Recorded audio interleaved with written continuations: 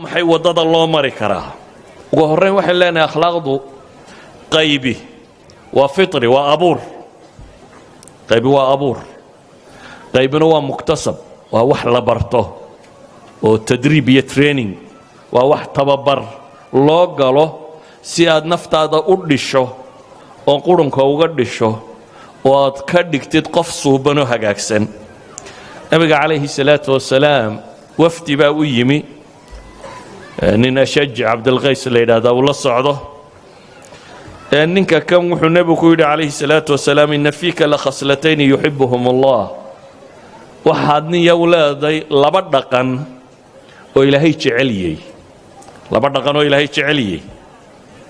Wuxuu nebigu ku tilmaamay calayhi salaatu wasalaam riwaayaadku waa kala gedisan yihiin. Riwaayadda muslim waxay sheegaysaa alxilmu waalaanaah dulqaad iyo kaadsiinyo hubsiino waxaa tahay qof dulqaad badan oo dulqaadku qofku inaanu wax yari ihaara ku samayn inaanu kicin. Soomaalidu waa dad soodhaa inta badan waa dad aad ugu yaryahay dulqaadka iyo sabirku. Laakiin nebigu ninkan wuxuu ku ammaanaya inuu yahay qof deggan marka hore oo anaa leh deganaanshiya leh dulqaadna leh. Riwaayadda imaamu nasaa'i say sheegayso wuxuu ninkii weydiiyey shay-un jubiltu calayhi aw shay-un atakhallaqu ma wax ilaahay igu abuuray baa mise waa dhaqanaan kasbaday ma dhaqanaan yeeshay anigu iyo xirfad ku keenay baa mise waa wax ilaahay subxaana wa tacaala igu abuuray nebigu calayhi salaatu wasalaam wuxuu yidhi laa bal jubilta calayh maya labada tan adigu waa sajiya waa abiica ilaahay subxaana wa tacaala kuga abuuray idan qaybi baynu leenahay dhaqanka waa abuur oo waa ka ilaahay qur'aanka ku tilmaamaya subxaanahu wa tacaala. Qaala inamaa ana rasuulu rabbiki liahaba laki ghulaaman zakiya. Ciise ilaahay markuu maryamo siinayay ugu bushaaraynayey malgii u yimi wuxuu leeyahay waxaa rabbaa isoo diray si aan kuugu hibeeyo ghulaaman zakiya. Ghulaan la tahiray wiil fadiilo oo dhan wata. Waxay culammadu yidhaahdaan min طabcihi bay ciise ka mid ahayd in sidana ilaahay u abuuray subxaana wa tacaala. Idan waxaynu leenahay akhlaaqiyaadka qaybi waa abuur. Oo dee waynu kala cadho badannay. Hebel qofna waxaa laga yaabaa inuu marka laba eray la yidhaahdaba kaco. Qofna inuu degan yahay oo uu dul qaato waa kala sabir badannay waa kala abuurkeenna hore. Laakiin haddana waxay leeyihiin culammadu qofka bini aadamkaa inta la tababaro ayaa la gaadhsiin karaa inuu dulqaad yeesho inuu cadhadiisu degto inuu gacan furaado wax waxaynu fadiilo u naqaano wanaag iyo dhaqan u naqaano. Qofka waa loo rabayn karaa bay leeyihiin haddii la rabeeyo dee xayawaan baa la rabeeya ama bini aadam baan la rabayn karaynin xayawaankaa kaynta ordaya ayaa la qabtaayoo inta la tababaro. Waxaad arki qaar shabeel tababartay ama libaax tababartay. Libaax iyo shabeel haddii la tababaray ma qof bini aadam oo nool baan la tababari karaynin markaa si awgeed buu nebigu calayhi salaatu wasalaam isagoo qaybta mukhtasabka ee bini aadamku uu hanto ka warramaya baa wuxuu yidhi innama alcilmu biاtacallum wainama alxilmu bitaxallum waman yataxara alkhayra yucطa waman yatawaqa shara yuuqa yuwaqa nebigu calayhi salaatu wasalaam xadiidkaa daarqudni warinayo sheekh alalbaanina xasan ku tilmaamay wuxuu leeyahay cilmigu barashu ku yimaada. Ambiyadaa waxyigu ku soo dega mooyaane dadka inta kale waxbay barteen. Waxaa khabiir la sheegayo caalim la sheegayo waa qof wakhti iyo juhdi geliyey. Idan cilmigu barasha ku yimaadaa buu nebigu leeyahy wuxuu kaloo nebigu leeyahy dulqaadkuna dulqaad barashu isna ku yimaada. Oo qofka bini aadamkaahi waa la gaadhsiin karaa xad uu dul qaato laakiin wuxuu u baahan yahay ciddii riyaadada nafsiga ah tababarka iyo tadriibkaa dhabta ah siin lahayd sida jidhkaagaba loo tababaro qofka cayaartooga ah halkaa inta bannaanka loo saarabaa la baraa jidhkiisa inuu flexible noqdo inuu murqaya yeesho inuu ka noqdo. Qof bini aadamabaa midna qaarka sare loo weynayn karaa midna qaarka hoose loo weynayn karaa waayo waa qofba sida loo tababaray. Kuwan feerhtama waa aragteen. Garbaha iyo tuurta iyo labada gacmood intaasaa weyn. Mijaha kuwaygoo kaleu leeyahy yacni maaha. Qof xooggan maaha. Sidaa awgeed waa kuwan long teniska cayaara. Xataa labadiisa gacmood baa kala weyn. Tu ku cayaaraa weyn. Ka guranna bidixdaa weyn. Ka midigtaana midigtaa ka weyn gacantiisa. Waayo tani exercise ka badan bay heshay ta kale intay helayso. Si awgeed qofka bini aadamkaa jidhkiisa waa la tababari karaa. Waxa la mida naftiisana waa la tababari karaa. Sidaa jidhkiisa riyaada loogu sameeyey ayaa riyaada nafsiya loo samayn karaa oo qofka la bari karaa inuu dul qaato inuu hadal fiican ku hadlo inuu dhaqan wanaagsan yeesho inuu cadhadiisa qarsan karo inuu wax bixin karo inuu dadka ixtiraami karo inuu waayeelka tawqiirin karo waana waxa loo furtaba dee madaaristan iyo iskuulladan iyo dowladuhu waxay wasaaradka dhan u samaystay waa kan. Innagu waxaynu haysanaa meelaha la tago in muxuu cilmi soo bartaa la isweydiiya. Waxa ka fiican inaad tidhaa muxuu dhaqan barta. Ilmuhu muxuu isbeddel samaynaya. Si awgeed buu nebigu wuxuu leeyahy xilmigu iyo dulqaadku waa wax la barto. War ninkii khayr raadiya waa la siin buu nebigu leeyahy calayhi salaatu wasalaam. Ninkii shar ka dhowrsadana waa laga dhowri buu nebigu leeyahy calayhi salaatu wasalaam walidaalik buu nebigu wuxuu tilmaamayaa xoog badnidu ma aha inaad qofka legdi karto. Ee xoog badnid buu nebigu yidhi waa qofka naftiisa hanta markuu cadhoodo. Bini aadam aan cadhooni ma jiro. Bini aadam aan hoosta ka guban marka erayada qaar ama waxyaaba qaar lagu sameeyaa aanay dhibini ma jirto. Laakiin waxaa lagu kala gedisan yahay jawaabta aad qaadanayso. Marka lagaa cadhaysiiyo miyaad cadhadaada xejin oo si qof miyir qabaad u hadli mise waad waalan oo waad burqan oo afkaad furan. Soomaalidu intuu waxuu doono dhiil iyo dherigaba buu yidhaha waan cadhooday dee lama waasho haddaad cadhooto. Haddaad cadhooto inaad isku daydo inaad cadhadaada kontarooli kartid inaad naftaada xejin kartid. Si awgeed buu nebigu wuxuu leeyahy xoog ma aha muuqaalkan sare iyo jidhka xooggane xoog badnidu waa qofka naftiisa kontarooli kara xejin kara. Nin saxaabiyaa nebiga u yimi wuxuu ku yidhi ilaahay rasuulkiisiiyo calayhi salaatu wasalaam ila tali awsini. Nebigu wuxuu ku yidhi laa taqdab ha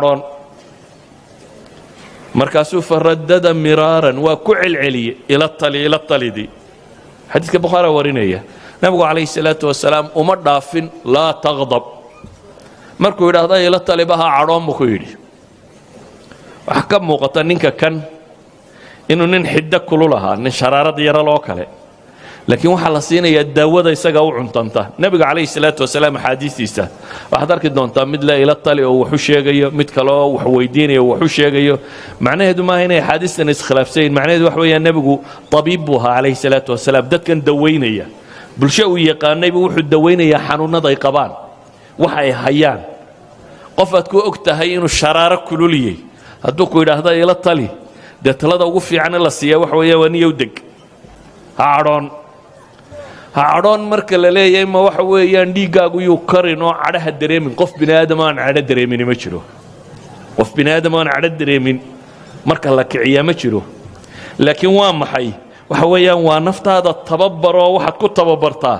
Inaad gaadho walkaadimiina alghayd ilaahay qaar buu wuxuu ku tilmaamayaa kuwa af xidhaya cadhadooda kuwa kadmi ku samaynaya ama xidhaya cadhadooda si awgeed ba xadiidkii inoo tilmaamayaa wainama alxilmu bitaxallum dulqaadku inuu yahay wax la barto. Haddaba waxayn leenahay waxa la yidhaahdaa akhlaaqdu. Qaybina waa dabeecad ilaahay kugu abuuray. Waa kala deeqsisannay. Dadka badh baa ilaahay u dhaliyey inaanu adduunku qalbigoodaba degine gacantooda ay furaato. Laakiin haddaad qof muslim oo dhab tahay waad baran kartaa in gacantaadu furaato. Gacan furnidu maaha markaad xoolo badan hesho inaad wax waxa yar baa wax laga bixiyaa. Qofka waxa yar wax ka bixin karaa waxa badanna wax ka bixin kara. Waa wax la baran karo. Inaad xilmi yeelato waa wax la baran karo. Inaad dadka ixtiraamto waa wax la baran karo. Weliba schooling systemku iyo malcaamadaha iyo madaaristu marka aan afkaartani bislaanin innaga waxaynu dadka barraa. Markaa waxa weeyaan cabsi. Macallinku markuu soo galo yararku inay sidii jiir la qabtay iswada taagaanuun isnabaan markuu baxana inay buuqaan. Waayo wuu baqayee muu baranin in la deganaado maad u tababarin qofkani inuu deganaanshiiyo heli karo. Maad u tababarin qofkani si xasiloon inuu socdo. Ee waxaad u tababartay. Ushaa markuu arko iyo markuu adiga ku arkaba inuu istaago. Markaad adigu baxdana inuu wixii doono sameeyo. Idan cabsidu maaha wax bini aadamka lagu tababaro. Bini aadamka waxaa waa la traingareeyaa. Si kalea wax loo baraa. Si awgeed waxaynu leenahay akhlaaqdu wax la barto iyo wax abuuraba way leedahay ta abuurkaana waa la sii xoojin karaa. Meelaha aad hanjafka ka tee ka gaaban tahayna waa lagu kamili karaa ama waa laguu dheerayn karaa. Waxaanaad ogsoonaataa waxay dhahdaan culammadu iyagoo aayad qur'aana deliishanaya aadanuhu laba ceebood buu leeyahay bay yidhaahdaan. Ama laba cawro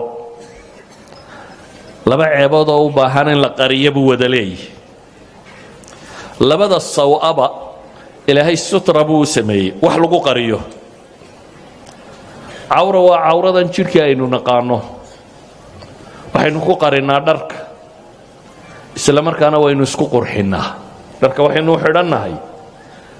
Sababo badan laakiin sababta koowaad waxa weeyaan inaad cawradaada asturto sababta labaad aynu u xidhannaana waa maxay? Waa inaynu isku qurxinno. Oo dee cawrada maro kastoo isku duuduubna waa qarin lahayd.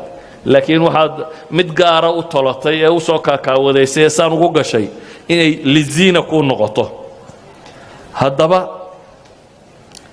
hadday jidhka sare maradu asturto cawrada hoosena akhlaaqda asturta. Qofku hadduu akhlaaq leeyahayna waa asturan yihi hadday akhlaaqdu kugu yartayna cawradaadaa muuqata. Dadka badh baa markuu waddada kaaga soo baxo aad sodhanaysa ka weeco.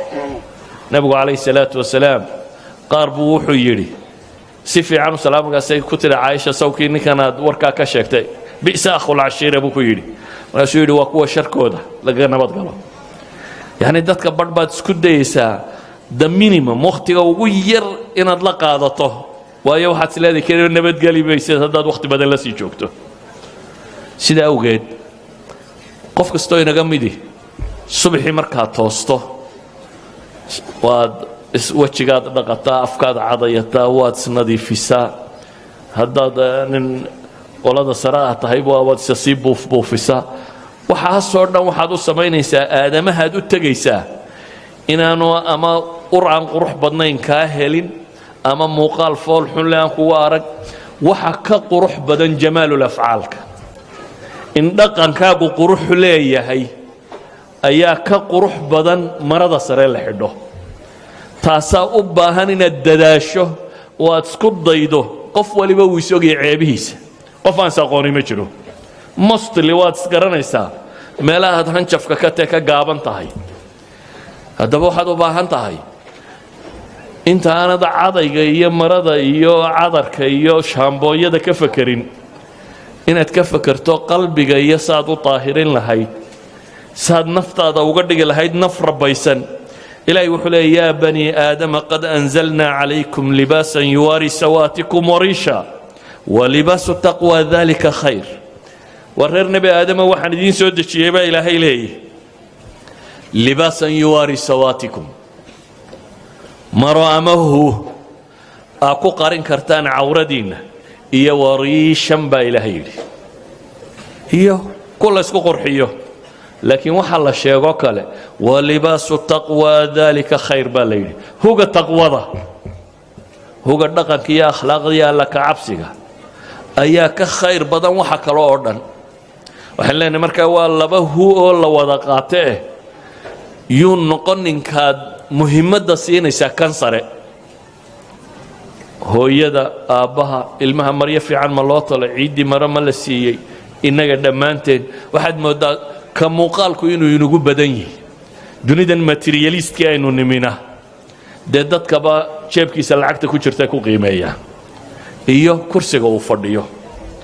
Oo huyumankaba waxa loo kala fadilaa sida jeebabka lacagtay ku sitaan u kala badan yihiin. Laakiin lacagtu waa maaddo maadaadkan dhulka yaalla ka mid ah. Insaankaa sayidka ah meesha tan insaannimaduna waxay ku dhammaystirantaa bacda alcaqiida waalcibaada.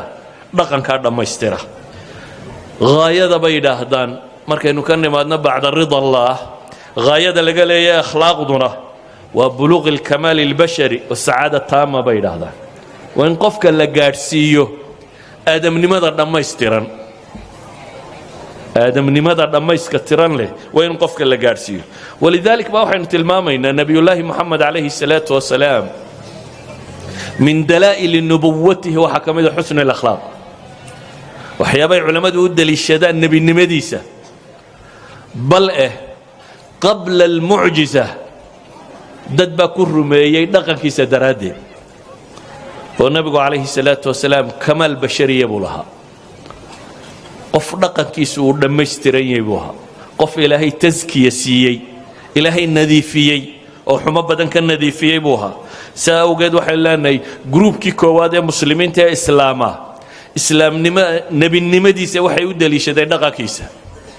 Khadiija radia allahu canha markuu qaarulxiraa ka yimi ee waxyigii u horreeyey ku soo degay isagoo kurbaysan uu yimi waxay u deliishatay nebinimadiisa iyo dhaqan wanaaggiisa. Kallaa wallaahi maa yukhziika allahu abadaa bay tidhi. Ilaahay baan ku dhaartay inaan rabbi weligaa ku hoojinaynin. Sababtu waa maxay?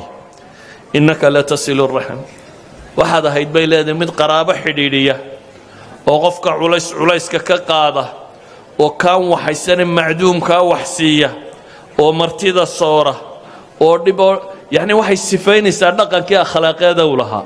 Akhlaaqdani bay leedahay waxay tilmaamaysaa. Qof alla doortay inaad tahay qof xuma ku soo socdaan ma u muuqatid bay ku tilmaamaysaa. Ilaahayna subxaanahu wa tacaala wasfiga ugu weyne uu nebiga qur'aanka ugu qoray waa wainaka la calaa khuluqin cadiim. Waxaad tahay mid ku sugan. Wainak waa jumla ismiya. Adawaatu tawkiid lagu bilaabay xarafka la isticmaalay waa calaa alculuw. Waxay yidhahdaan waxaan oo dhamme waxay tilmaamayaan baa yidhahdeen fii cilmi luga marka la eego nebi maxamed akhlaaq dhammaystiran diin dhammaystiran inuu ku sugan yahay. Ilahay wuxuu leeya wainaka la calaa khuluqin cadiim. Akhlaaq dhammaystiran mid ku sugan baa tahay. Idan waxaynu leenahay akhlaaqdu waa min dalaa'ili nubuwaba waxyaabaha loo daliishado nebigu inuu nebi yahay bay ka mid tahay. Waxaa kugu filan xadiidkii bukhaari ee heraklis boqortooyadii ruum ninkii haystay. Abu sufyaan oo gaal ah waan muslim ahayn ayaa la waraystay. Markii waraaqdii nebigu uu diray ay u tagtay calayhi salaatu wasalaam ayuu yidhi ciidima ka joogtaa? Qoomkaa oo waxaa la soo helay lix nin. Dabeetana abu sufyaan baa la waraystay. Warkii abu sufyaan la waraystee la weydiiyey hiragal sadayeen dhaqankiisa.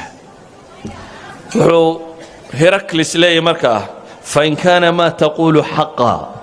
Waxaa ii sheegteen hadday run tahay fasayamliku mowdaca qadamaya haatayn. Wuxuu hanan doonaa halkan aan jooga buu leeyahy waan ogaa in nebigu soo baxayo laakiin maan moodayn buu leeyahy inuu idinka idinka mid yahay ee haddaan gaadhi karaya buu leeyahy waan isu xambaari lahaa waan isku dhibi lahaa inaan gaadho. Cagihiisaanan maydhi lahaa buu ku tilmaamaya waxa uu sheegay abu sufyaan waxay u badan yihiin dhaqankiisii iyo akhlaaqdiisii iyo nebigu calayhi salaatu wasalaam siduu u dhaqmayay. Biografigiisa markii looga warramay buu wuxuu ka daliishaday inuu nebi yahay.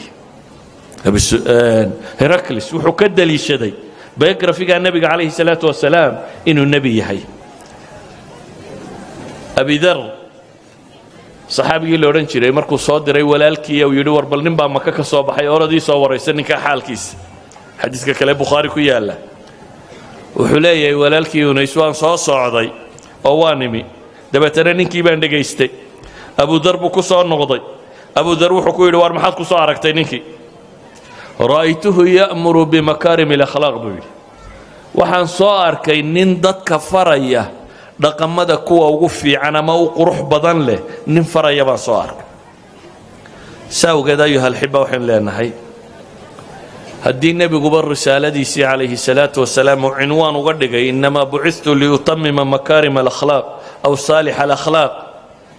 Labada riwaayadoodba imaamu axmed baa warinaye hadduu uga dhigay nebigu calayhi salaatu wasalaam cinwaanu risaalaba inay tahay akhlaaqda inuu dhammaystiro waxa loo soo diray waxay culammadu yidhaahdaan akhlaaqduba waa saddex qodob bay sheegaan iyagoo aayad qur-aana deliishanaya waxay dhahaan waa badli اlmacruuf wa kafi اlأdaa wa اxtimaali اlأdaa bay yidhahdaan akhlaaqiintaasay ku dhantay bay yidhaahdaan waa qofkoo samaha sameeya badli اlmacruuf wixii curfiga ku fiican ee macruufkee dadku wada qirayo qofkoo sameeya iyo qofkoo dhibtiisa dadka ka haysta. Aan isaga wax dhibi ka soo fulin.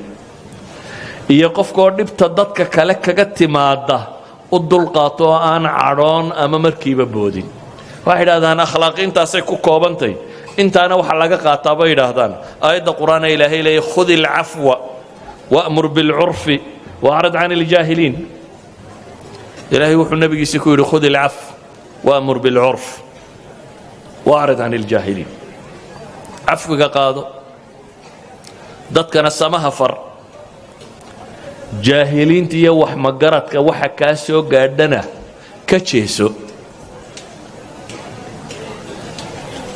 Qurux ma laha qofkii farta kugu soo taagaba inaad shan ku taagtaa. Casriganna saasay u badantay wadaadkii wadaad kale eray ku yidhaahdaa isna waa inuu toban ku yidhaahdaa. Siyaasigii siyaasi kale eray ku yidhaahdaa isna waa inuu toban ku yidhaahdaa. Qabiilkii qabiil kale laba eray ka yidhaahda isna waa inuu shan gabay u tiriyaa. Waxeenoo dhammi waxa weeyaan haddii midh la yidhaahdo waa in leeg inaan idhaahdo. Laakiin nebiyullaahi moxamed calayhi salaatu wasalaam oo rasuulah oo ilaahay waxyi ku soo dejiyey oo kamaalil akhlaaq leh ayay waxay lahaayeen waa saaxir iyo waa kadaab iyo waa kan. Markaasaa ilaahay leeyay waa acrid can iljaahiliin lama odhanin nimanka kule waa saaxir. Iska dhici. Iyo nimankaa kadaabka kugu sheegaya kan sheegaya ee ilaahay wuxuu ku yidhi waacrid can iljaahiliin wax magaratada waxbaha u dhegtaagi idan dhaqanku wuxuu u baahan yahay nafta la tababaro. Dhaqanku macluumaad ma aha waa laga yaabaa in aqoontaadu badantay.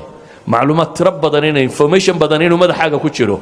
Ama mid diineed ha ahaado ama mid dunawiya ha ahaado. Laakiin aswa naas baad noqon kartaa haddana. Iyadoo informationkaagu tiro badan yahay. Yes informationka tirada badan leh wuu ka qayb qaadanayaa haddaad trainingkaagu fiican yihi haddii dhaqankaagu wanaagsan yihi waxaa asali markaa wuxuu yahay qofka muslimka ahi inuu yahay mid dadka khayrka gaadhsiiyo kow khayru nnaasi anfacuhum ayuu nebigu tilmaamaya dadka waxa u khayr badan anfacuhum linnaas. Dadka ka ugu badan leh. Waxaa kaleu nebigu tilmaamaya almuslimu man salima almuslimuuna min lisaanihi wayadih muslimka dhabta ahi waa qofka muslimiintu ka nabadgalaan carabkiisa iyo gacantiisa. Mid baa yidhi maxaan qabtaa? Markaasuu nebigu yidhi sidaa yee. Markaasuu yidhi haddaan kari waayana markaasuu yidhi sidaa yee. Markaasuu yidhi haddaan kari waayana nebigu markii dambe wuxuu ku yidhi dee dhibtaaduun dadka ka hayso haddaad wax matarannimo isku og tahay gacantaadii afkaagu ha kuu xidhnaadaan. Haddaanad waxba kala qaban karin ummadda haddaanad waxba ku kordhin karin. Si buu nebigu calayhi salaatu wasalaam ku tilmaamaya akmalu lmu'miniina axsanuhum akhlaaqa. Xadiidka termedi iyo abi daawuud sheekh alalbani saxiixa ku tilmaamayo. In allah axaadiistan tilmaamay oo dhammi ama waa xasan ama waa saxiix waxau nebigu tilmaamaya ina min khiyaarikum axsanukum akhlaaqa. Saxiixaynka xadiid ku yaalla. Ina min khiyaarikum. Xulkiinna waxaa ka mida baa ilahay leeyay dadka marka la miiro inta xulka ahi waxa weeyaan buu nebigu leeyahy axsanukum akhlaaqa. Waa inta dhaqankoodu fiican yahay. Waxaa wada taqaaniin xadiidka arbiciinka aynu ku wada dhiganno